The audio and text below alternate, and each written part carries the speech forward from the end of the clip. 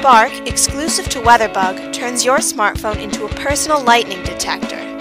It tracks all lightning, minute by minute, mile by mile.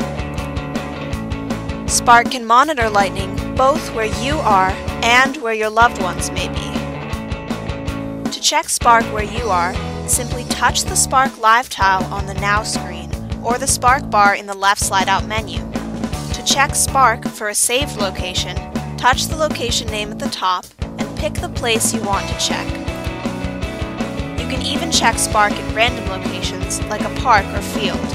Just open the radar map, find the exact place you want to monitor, then press and hold. Add that location on the window that appears, then open up Spark. Use Spark to stay safer. Know before with WeatherBug.